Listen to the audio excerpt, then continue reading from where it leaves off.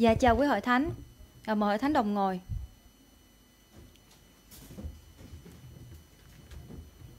Cảm ơn Chúa bởi vì một ngày thật là phước hạnh. Cảm ơn ban thờ phượng cũng như là cảm ơn cô anh Tú đã đọc tuyên đọc lời Chúa ở trong châm ngôn đoạn 31.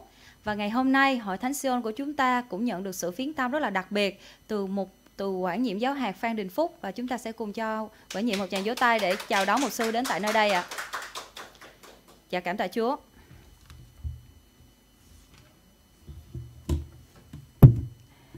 Trước đây khi mà tôi xem trên truyền hình thì tôi nhớ là tôi có rất là thích xem một cái game show rất là nổi tiếng. Không biết là chúng ta có nhớ cái game show này không và cái game show này có tên là Hãy chọn giá đúng. Thì trong game show, người chơi sẽ được cho xem những món hàng hay là những sản phẩm. Và sau đó thì những người chơi sẽ phải đoán giá trị thật của món hàng. Nếu mà người nào đoán đúng giá trị thật đó hoặc là đoán một cái giá mà nó gần với cái sản phẩm được đưa ra, gần nhất với sản phẩm được đưa ra thì đó là người chiến thắng. Khi mà nhớ về cái game show này thì tôi tôi cảm thấy rằng cái game show này đã làm nổi bật lên một cái kỹ năng rất là quan trọng trong đời sống mà mỗi một người chúng ta cần có, đó là kỹ năng định giá. Gần đây thì tôi có một cuộc nói chuyện với một người chị em và người chị em của tôi tâm sự như thế này. Bởi vì người chị em của tôi quên mất cái việc đánh giá tất cả những cái phí tổn khi làm ra một món ăn. Thế nên khi mà chị tôi bắt đầu việc kinh doanh, chị tôi bán cái món ăn đó và dẫn đến sau khi mà chị tôi tính toán thì tôi chị tôi mới thấy là à mình đã bị lỗ. Thế mới thấy á, khi trong kinh doanh á, khi mà chúng ta định giá một cái sản phẩm đúng đắn thì chúng ta sẽ hạn chế được những cái sự lỗ vốn và nó sẽ tạo ra lợi nhuận cho cái việc kinh doanh của mình và cái kỹ năng định giá nó cũng rất thiết thực ở trong đời sống mỗi một người, đặc biệt là những người đi xin việc làm. Nếu ở tại đây chúng ta là những người đi xin việc làm, thì chúng ta cũng đã từng trải qua cái cảm giác ở trong những buổi phỏng vấn. Một người khi mà xin việc làm mà họ có cái kỹ năng định giá, tức là họ biết cách đánh giá khả năng và năng lực của mình cho phù hợp á, thì thứ nhất là người đó sẽ không có bị lỗ vốn. Khi mà thống nhất lương với người phỏng vấn mà bây giờ người ta hay nói là hay điêu giá đó. Và cũng không ra giá quá cao rồi sau đó mất luôn cái công việc tốt mà đáng lẽ mình được nhận. Hôm nay là ngày phụ nữ tinh lành. Và trong tuần vừa qua chúng ta cũng kỷ niệm một cái ngày rất là dễ thương đó là ngày phụ nữ, ngày quốc tế phụ nữ 8 tháng 3. Thì trong ngày 8 tháng 3, phụ nữ trở thành một tâm điểm ở trong kỳ lễ và phụ nữ giống như hồi nãy cô anh tú ở trong phần à, ở trong phần bản tin 5 phút có nói về cái vấn đề đó là người phụ nữ sẽ là người phụ là người được yêu thương, được chăm sóc và cũng như là được nhận những cái lời chúc từ những người xung quanh. Vậy thì khi chúng ta là một người nữ có bao giờ mà chúng ta nghĩ về giá trị của bản thân mình đến từ đâu không? Có phải giá trị của chúng ta sẽ được nâng lên khi mà chúng ta có nhiều quà, nhận được nhiều lời chúc và giá trị của chúng ta sẽ bị giảm xuống khi mà chúng ta không có được nhận quà và không có được nhận lời chúc. Điều đó có đúng như vậy không? Vậy thì làm sao để có thể giác xác định một giá trị thật của một người nữ? Vậy thì Kinh Thánh có nói điều này hay không? Đây là thắc mắc của rất là nhiều người và trong đó có tôi. Thế nên tiêu đề của bài giảng ngày hôm nay, đó chính là giá trị của bạn đến từ đâu? Trong cả Kinh Thánh thì có một phân đoạn rất là đặc biệt và phân đoạn này đặc biệt dành cho phái nữ. Và đây là một cái phân đoạn mà thường những cái lời chúc ở trong những cái ngày giống như ngày phụ nữ tinh lành hay là ngày 8 tháng 3 nếu chúng ta là cơ đốc nhân, chúng ta sử dụng lời chúc này để chúc lỡ chúng ta sử dụng những lời chúc này để gửi đến những người nữ. Chúng ta có biết đó là phân đoạn nào không? Hồi nãy cô anh tú cũng đã nói về phân đoạn này. Dạ đó chính là châm ngôn. Đoạn 34 đặc biệt là từ câu số 10 cho đến câu số 31 thì trong phân đoạn châm ngôn, mô tả một cách chi tiết một người nữ tài đức là một người nữ như thế nào? Thì ngày hôm nay chúng ta sẽ không đi hết cả phân đoạn nhưng mà chỉ đặc biệt chú ý đến câu Kinh Thánh trong ngôn đoạn 31 câu 30.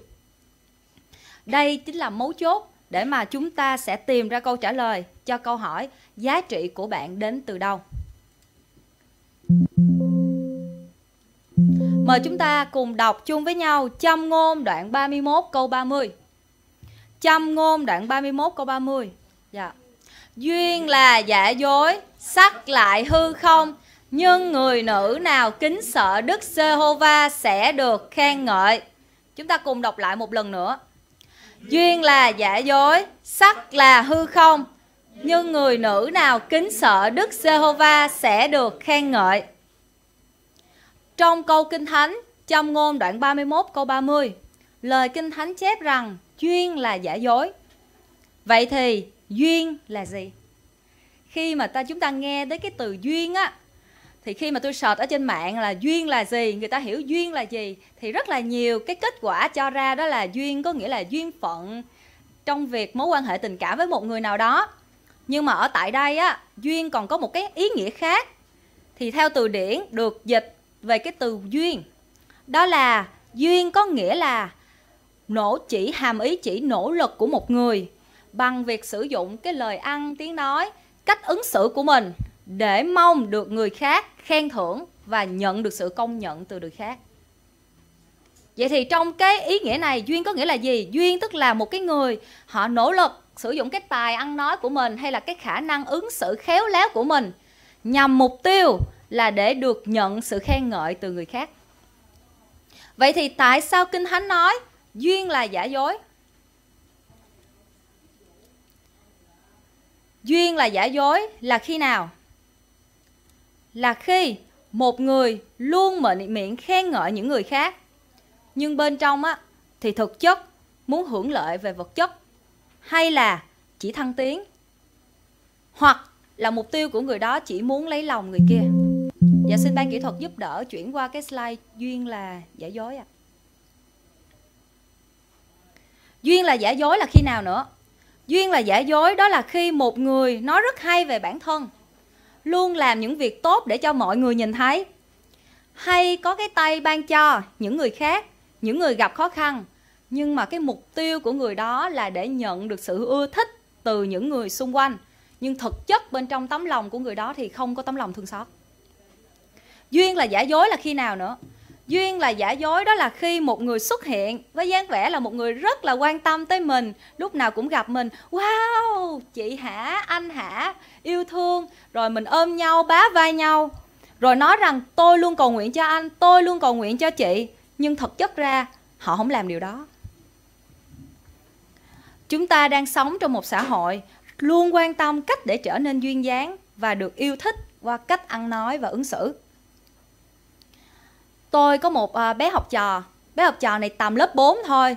Nhưng mà bé học trò này ngày nào cũng nói với tôi cô ơi bây giờ con có à, uh, 700 người follow ở trên tiktok rồi đó cô. Cái đó là một niềm vui đối với bé. Và ngày nào bé cũng xem coi là những cái người mà theo dõi bé nó có tăng hay là giảm hay không. Bởi vì bác đưa lên những cái hình rất là dễ thương rất là duyên dáng. Và bác nghĩ là những cái tấm hình đó sẽ được nhiều người thích. Và ngày nay chúng ta rất là quan tâm cái cách thức để trở nên duyên dáng và được nhiều người ngưỡng mộ. Nhưng trong Kinh Thánh, Chúa Ngài nói rằng Chúa Ngài quan tâm đến tấm lòng bên trong. Được chép trong Samuel nhất đoạn 16 câu 7. Thế nên là cơ đốc nhân, chúng ta cần cẩn thận, kẻo chúng ta cũng mắc bẫy duyên giả dối. Chúng ta sẽ lừa dối người khác để đạt những điều mình mong muốn đặc biệt là chúng ta muốn người khác ngưỡng mộ mình qua cái cách mà mình đối xử duyên dáng với người ta. Một người mà họ theo đuổi duyên giả dối, thì chính bản thân họ đang xây dựng một cái tượng thờ cho chính mình. Bởi vì tất cả những điều họ làm, mục tiêu là gì ạ? Là để nhận được những sự tán thưởng từ người khác. Đó chính là biểu hiện của sự kiêu ngạo.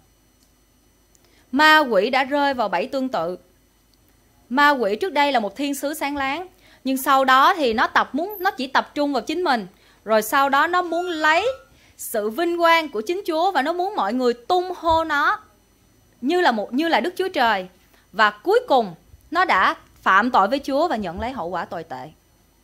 Đó chính là duyên giả dối mà Kinh Thánh nhắc đến ở tại đây.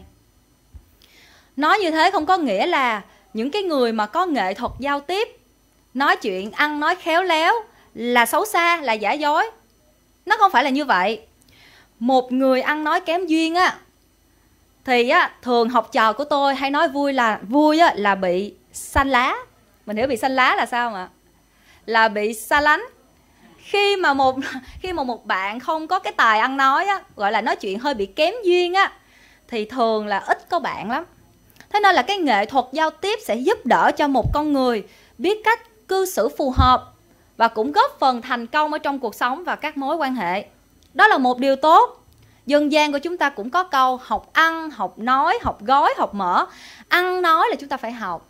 Nên chúng ta học nghệ thuật giao tiếp, chúng ta đọc sách về cái cách thức để giao tiếp với người này, người kia, điều đó là tốt. Nhưng chúng ta phải cẩn thận. Nếu mà chúng ta sử dụng những cái nghệ thuật ăn nói của mình nhằm để mà chúng ta có một động cơ phục vụ lợi ích bản thân. Đó là chúng ta mong muốn rằng mọi người tung hô mình, mọi người thích mình, mọi người chơi với mình, mọi người tán dương mình. Đó là một động cơ không đúng đắn. Khi mà chúng ta làm cái điều đó, chúng ta đang nói và chúng ta đang cư xử. Đối với chúng ta là duyên dáng, nhưng thực chất ra là chúng ta cư xử như thế mà lòng mình lại không nghĩ như vậy. Khi mà chúng ta làm như thế thì đó chính là duyên giả dối và đó là điều mà một cơ đốc nhân cần tránh. Kinh thánh cũng nói tiếp, sắc lại hư không. Dạ xin mời ban kỹ thuật giúp ạ. Sắc là gì ạ? Sắc thì ở đây rất là dễ hiểu. Sắc là vẻ bề ngoài của một người, về vật lý như là gương mặt, dáng hình, thân hình, và cũng như là trang phục của người đó, thì tất cả đều liên quan đến sắc vậy thì tại sao kinh thánh nói sắc lại hư không? Chúng ta có suy nghĩ bao giờ về vấn đề này chưa? Sắc tại hư, sắc lại hư không là lý do tại sao? Là bởi vì nhan sắc thì sẽ liên tục thay đổi theo thời gian và nó không vững bền. Thứ nhất là gian sắc của một người. Chúng ta biết rằng theo thời gian sẽ thay đổi và nó sẽ phụ thuộc vào việc chăm sóc của người đó ví dụ khi mà tôi còn nhỏ thì tôi có nét đẹp của em bé. Khi mà tôi lớn lên chút thì tôi có nét đẹp của thanh xuân. Thì chúng ta biết là tuổi 18 trăng tròn mà, khi đó là một cô gái rất là đẹp. Rồi về tuổi xế chiều thì tôi sẽ có những nét đẹp khác. Như một vài cô trong hội thánh mình có nét đẹp của tuổi xế chiều. Có người á thì họ chịu khó chăm sóc nhan sắc, thì nhan sắc của họ sẽ tươi tắn nhưng mà khi mà họ không chịu khó chăm sóc nhan sắc, thì nhan sắc của họ sẽ không có được đẹp và sẽ dễ già. Vậy chúng ta có thể thấy nhan sắc của một người thì thay đổi theo thời gian, tùy theo độ tuổi. Nhan sắc là hư không, sắc là hư không, tại sao vậy? Bởi vì tiêu chuẩn vẻ đẹp sẽ thay đổi theo thời kỳ lịch sử. Chúng ta có biết về tiêu chuẩn vẻ đẹp sẽ thay đổi theo thời kỳ lịch sử không ạ? Các nhà sử học đã nghiên cứu về văn hóa làm đẹp của người nữ theo dòng lịch sử và khám phá ra rất là nhiều điều thú vị. Ngày nay á, một hàm răng đẹp là như thế nào? Một hàm răng đẹp là một hàm răng trắng sáng. Thế nên là khi mà tôi xem ở trên facebook rất là nhiều người, họ quảng cáo về cái việc làm trắng răng hoặc là quảng cáo về cái cách làm răng sứ để mà có thể có một hàm răng trắng sáng đó là tiêu chuẩn đẹp của đời này của thời này nhưng mà chúng ta có biết á, là ở Nhật Bản thời Trung Cổ á, một hàm răng đẹp là một hàm răng như thế nào không? Dạ xin mời ban kỹ thuật. Chúng ta sẽ cùng xem nè. Ở Nhật Bản thời Trung Cổ, một hàm răng đẹp đó chính là một hàm răng đen. Chúng ta bất ngờ không ạ? Đối với người phụ nữ thời Trung Cổ mà đặc biệt ở Nhật Bản họ nghĩ á, nhuộm răng đen là biểu tượng của sự quý phái. Không những vậy á, họ còn cạo hết chân mày. Rồi sau đó họ vẽ cái chân mày ở gần ở trên cái phần tóc của mình á để thể hiện cái sự cao quý và quý phái của mình. Đó là tiêu chuẩn đẹp ở tại thời Trung Cổ Nhật Bản. Và đi xa hơn, đi đi một chút nữa là đến thời của nữ hoàng Elizabeth. Chúng ta có thể thấy là nữ hoàng Elizabeth ở tại đây không? Nữ hoàng Elizabeth á, thì tới thời của nữ hoàng Elizabeth á, thì cái chuyện nhuộm nhan đen không có phải là cái à, xu hướng làm đẹp nhưng mà ở thời này á, thì nữ hoàng Elizabeth là một biểu tượng cho cái đẹp để nhiều người học hỏi theo trong cái việc làm đẹp và cái tiêu chuẩn ở thời của phụ nữ, của thời nữ hoàng Elizabeth đó là những khuôn mặt càng trắng càng tốt chúng ta có thấy có những cái lúc mà chúng ta xem phim chúng ta thấy là những cái diễn viên trang điểm rất là trắng không ạ? À? tại vì cái thời đó là cái thời mà cái việc mặt da càng trắng là càng đẹp. Và thậm chí á, ở thời đó nếu mà chúng ta để ý á, trán của phụ nữ của nữ hoàng Elizabeth rất là cao. Thì các nhà sử học nói rằng là thời đó đó người ta người ta quan điểm là một cái trán càng cao thì sẽ càng thể hiện được cái sự học vấn và trí thức và cái sự quý tộc của mình. Thế nên những người nữ trong thời của nữ hoàng Elizabeth, họ nhổ những cái chân tóc. Em biết là nhổ hết mấy cái chân tóc để cho cái trán mình càng cao càng tốt. Ngày nay á, khi mà trán càng cao á, thì chúng ta không gọi là đẹp mà chúng ta gọi là bị hói, đúng không ạ?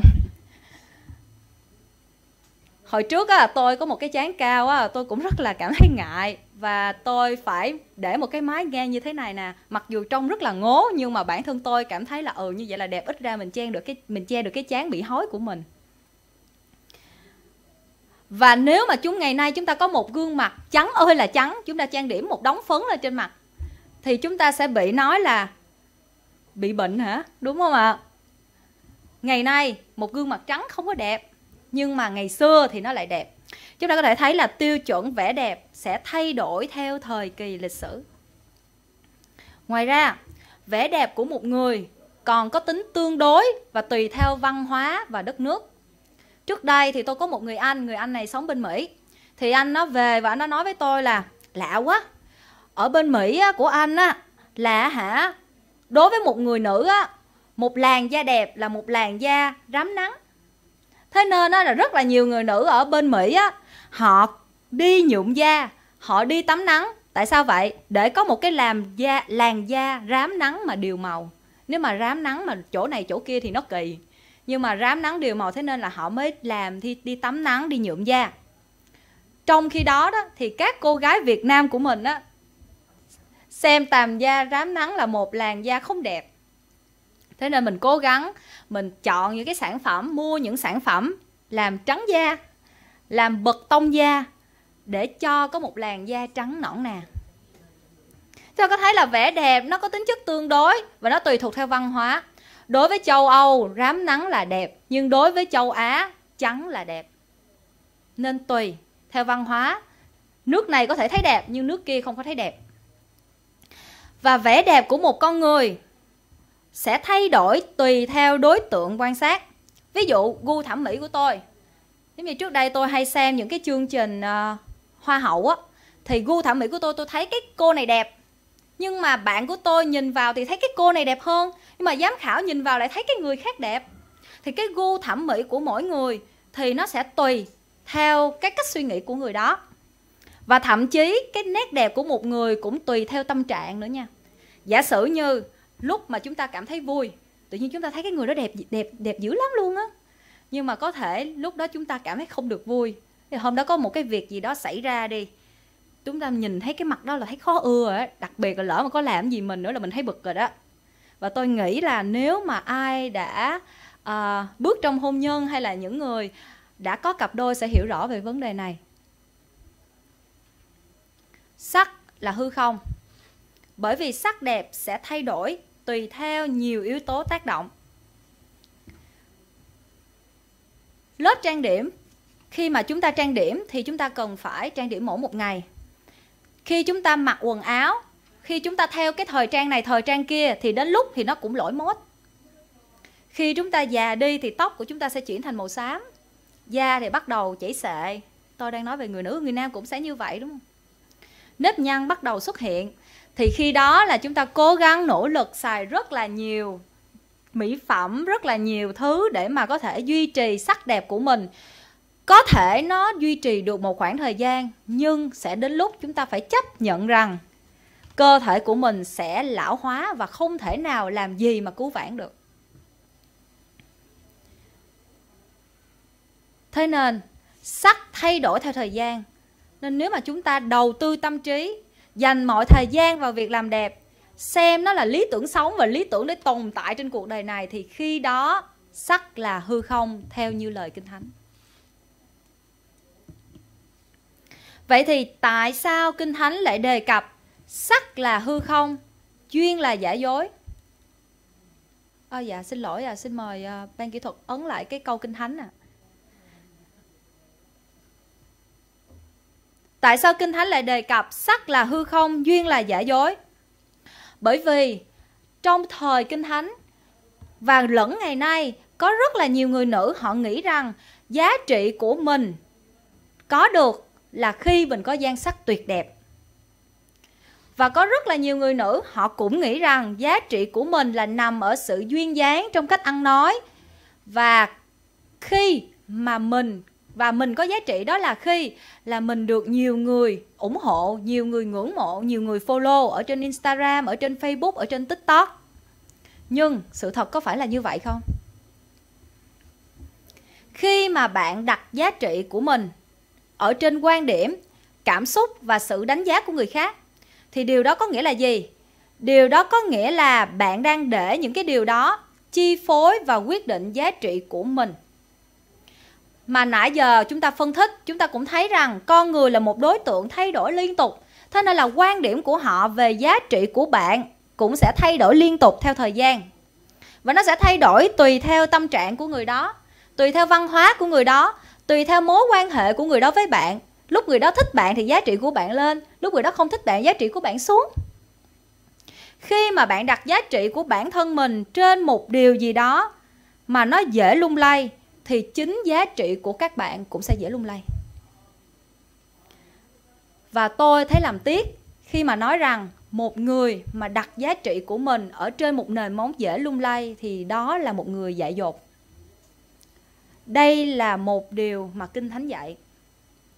Bởi vì khi đó cuộc sống của bạn sẽ rất là trông trên, sẽ rất là bất an và chúng ta sẽ luôn lo lắng để mà giữ cái giá trị của mình để mà giữ cái sự ưa thích từ những người khác.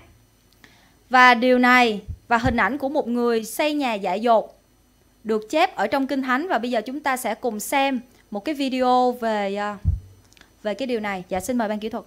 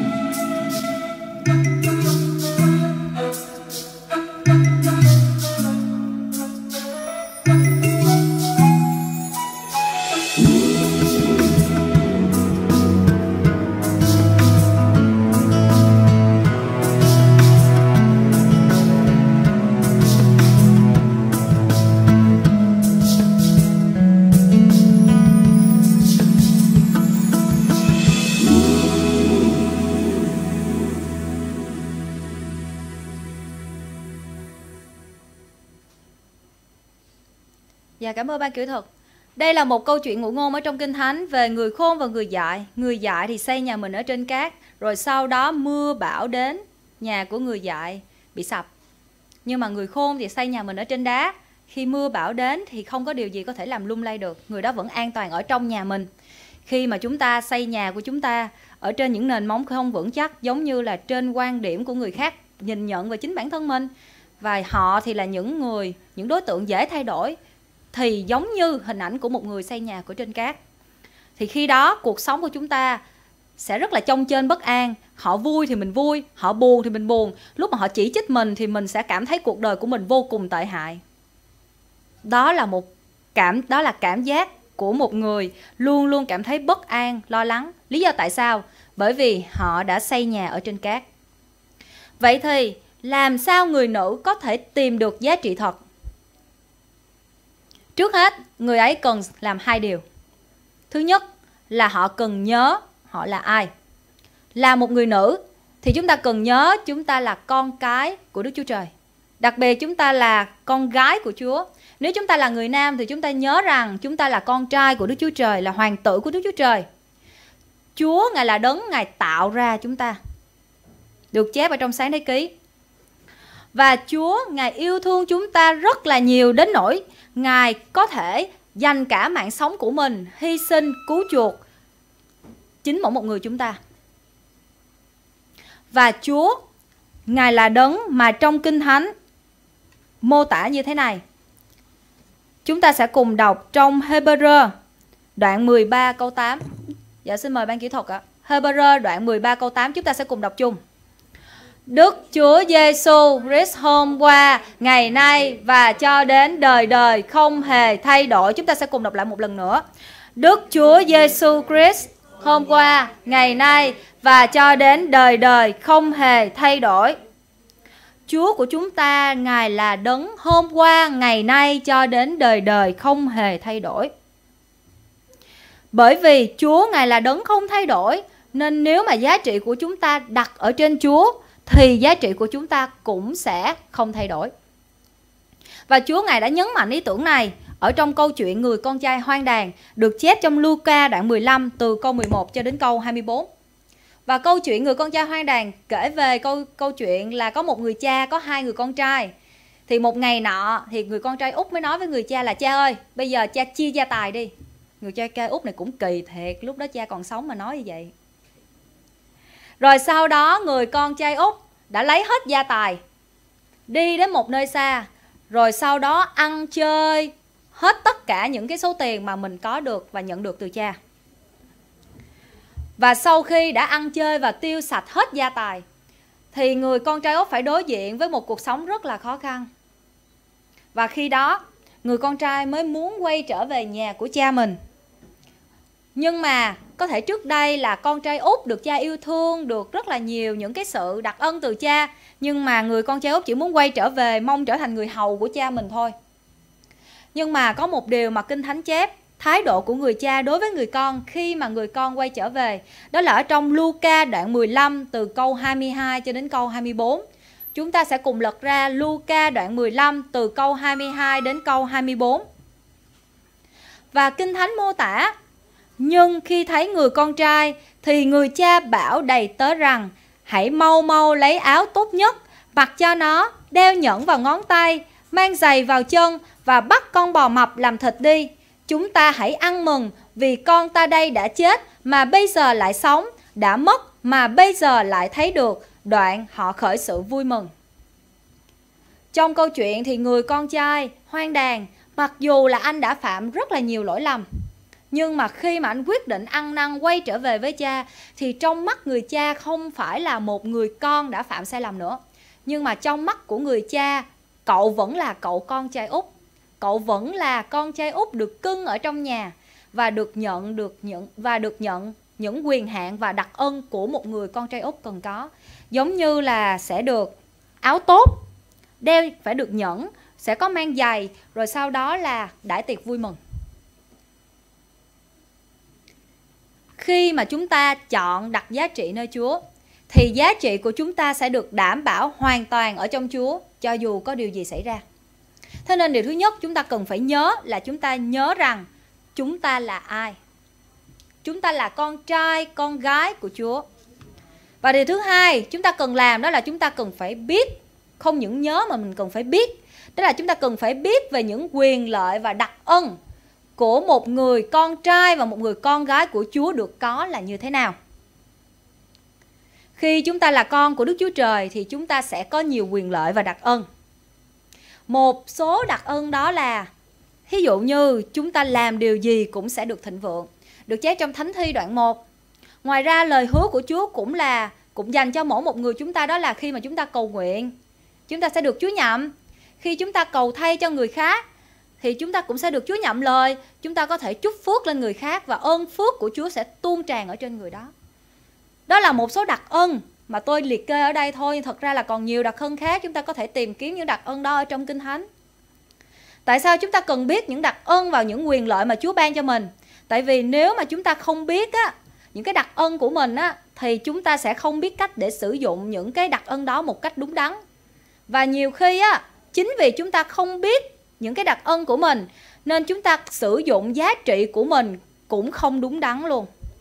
Giả sử như bây giờ mình không biết là mình có thể cầu thay và được nhận, được Chúa nhậm lời. Chúng ta không biết là qua cái sự cầu thay của mình, mình có thể tạo giá trị cho người khác. Thì chính bản thân mình cũng xem nhẹ địa vị và cái giá trị của mình luôn.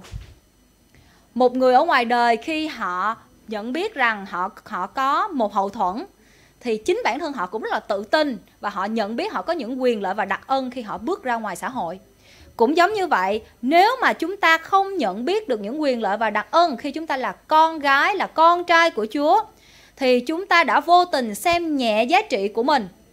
Và ở một mặt khác, chúng ta vô tình khước từ đi giá trị thật của mình đang có.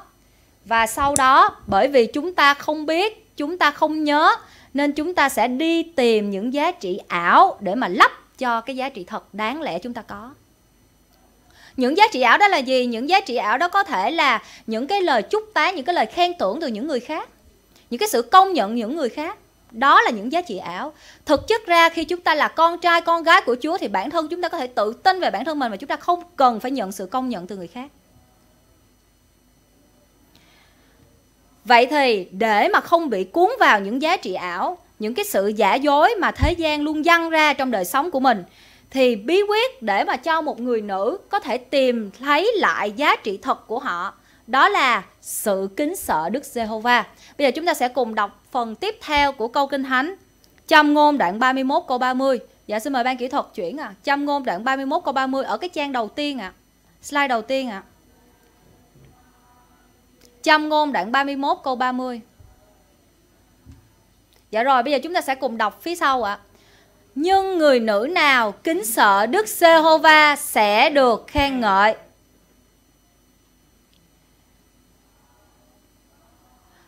Nhưng là hình ảnh đối lập. Thì ở tại đây có hai hình ảnh và có hai sự lựa chọn. Một hình ảnh trước đó, đó là một hình ảnh của một người chọn đặt giá trị của mình trên sự khen thưởng của người khác theo thang điểm duyên dáng và nhan sắc. Và điều đó giống như người dạy xây nhà trên cát. Và ở hình ảnh thứ hai, đó là hình ảnh của một người nữ kính sợ Đức Giê-hô-va. Thì hình ảnh của một người nữ kính sợ Đức Giê-hô-va thì giống như hình ảnh của một người khôn trong câu chuyện. Và người này lựa chọn xây dựng giá trị của mình trên tảng đá vững bền. Đó là hình ảnh của Chúa. Và bởi vì người nữ đó biết rằng Chúa Ngài là nền móng vững chắc. Bởi vì trong Hebrew, lời của Chúa nói rằng Đức Chúa Giêsu hôm qua, ngày nay cho đến đời đời không hề thay đổi. Chúa Ngài là đấng không bao giờ thay đổi. Thế nên cách mà Chúa Ngài nhìn nhận giá trị của một người cũng sẽ không bao giờ thay đổi. Vậy thì nếu chúng ta là người nữ thì chúng ta lo lắng về điều gì? Có bao nhiêu người chúng ta buồn khi mà chúng ta lên cân không ạ? À? Dạ, có thầy Phúc giơ tay à, cảm ơn thầy Phúc mà. Có bao nhiêu người chúng ta ở tại đây chúng ta cảm thấy rất là buồn khi mà mình lên cân không? Tôi có đó. Và điều mà người nữ thường lo lắng, một trong những điều người nữ thường lo lắng đó là lo lắng về cái cân. Nếu mà chúng ta nhận biết là giá trị của chúng ta bền vững ở trong Chúa thì chúng ta sẽ không bị hoang mang khi sáng ngày hôm nay đột nhiên mình leo lên cân tự nhiên mình thấy u chết rồi tăng 2 kg rồi ui chết rồi tôi mập quá mình sẽ không bị hoang mang về điều đó Tại sao? Bởi vì á, tất cả những cái điều đó nó không làm giảm giá trị của chúng ta ở trong Chúa. Chúng ta hãy nói với người bên cạnh đi ạ. À. Giá trị của chúng ta sẽ không giá trị của chúng ta sẽ không giảm khi ở trong Chúa.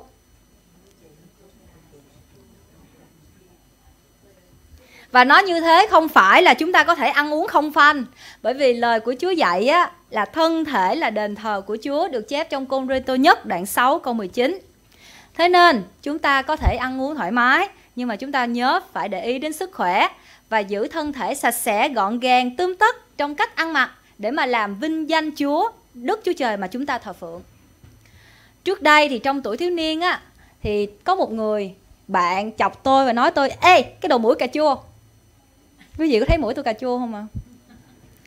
Và khi đó đó, bởi vì không có hiểu giá trị của mình được đặt ở trong Chúa và được đảm bảo ở trong Chúa, thế nên tôi quyết định tự thẩm mỹ ở tại nhà. Đó là tôi quyết định tự nâng mũi bằng kẹp quần áo. Và đó là biện pháp biện pháp thẩm mỹ tự chế, thế nên là đừng có học theo tôi nha. Bởi vì kết quả là chỉ có đau thôi, nhưng mà không có hiệu quả nhưng mà bây giờ khi mà tôi biết rõ ràng giá trị của tôi á ở trong Chúa rồi nên cho dù có ai đến chọc ghẹo tôi, ê đồ mũi cà chua thì tôi vẫn có thể vui vẻ và nói với họ rằng cho dù mũi cà chua thì vẫn tốt hơn là không có mũi để thở. Thấy tôi tích cực không ạ? À? Và dù ai đó có nói gì đi chăng nữa, tôi vẫn nhận biết tôi là con gái của Chúa nên cho dù có mũi cà chua thì tôi vẫn sống với tinh thần rất là bình an, vui vẻ, tự tin trong cuộc sống ít ra tôi vẫn còn có thể thở được. Cảm ơn Chúa. Đó là cái giá trị khi mà chúng ta nhận biết được chúng ta đặt chúng ta nhận biết được Chúa ngài là đấng có thể đảm bảo giá trị của mình. Vậy thì hình ảnh uh, của người nữ ở trong châm ngôn có phải chỉ dừng lại ở ý nghĩa dành cho những người nữ hay là chỉ dừng lại ở ý nghĩa dành cho những người vợ cơ đốc ở trong gia đình hay không? Thật ra hình ảnh của những người hình ảnh của người nữ được miêu tả trong châm ngôn đoạn 31 rộng hơn thì còn nói đến ý nghĩa hội thánh còn mang ý nghĩa của hội thánh, tại sao bởi vì hội thánh là nàng dâu của Chúa Giêsu trong Epheso đoạn 5 câu 25 lời Chúa chép, hỡi người làm chồng, hãy yêu vợ mình như đấng Christ đã yêu hội thánh, phó chính mình vì hội thánh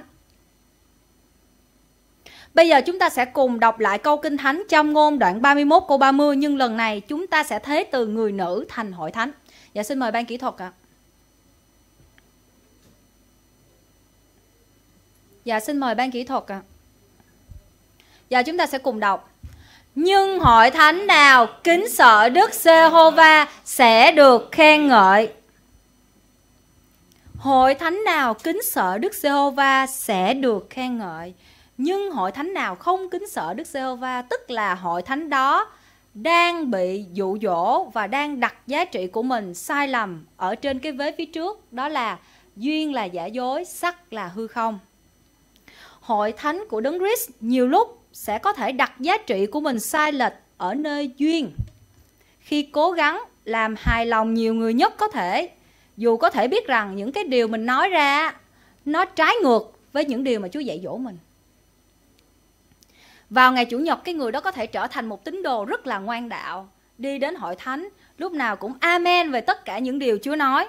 Nhưng mà 6 ngày còn lại thì người đó sống một đời sống rất là hòa tan với thế gian, và nhiều khi biến mất luôn để mà thế gian chấp nhận và công nhận những điều người đó suy nghĩ.